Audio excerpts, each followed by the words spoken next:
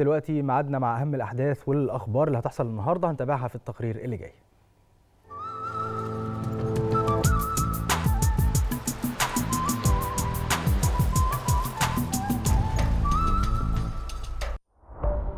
بالنسبة للأخبار المهمة اللي هتحصل النهاردة فخطبة الجمعة هتكون بعنوان القرآن الكريم ومنهجه في عمارة الكون.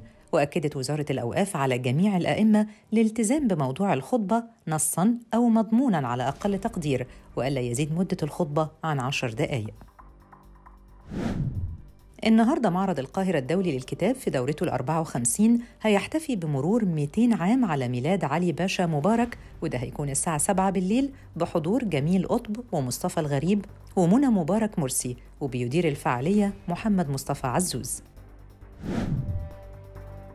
كمان النهارده هيشارك المركز القومي للمسرح والموسيقى والفنون الشعبية بحفل موسيقي غنائي ضمن الفعاليات الفنية بمعرض القاهرة الدولي للكتاب في دورته 54 وده من خلال تقديم حفل موسيقي غنائي لفرقة المركز الموسيقية الساعة 2 الظهر على مسرح بلازا واحد. النهارده المنتخب الأولمبي هيواجه الجابون في التجربة الودية اللي بيعتمد عليها البرازيلي ميكالي وبيعتبرها بروفا لمباراتي زامبيا المقبلتين والحاسمتين في مشوار المنتخب للتأهل لنهائيات بطولة الأمم الإفريقية تحت 23 سنة.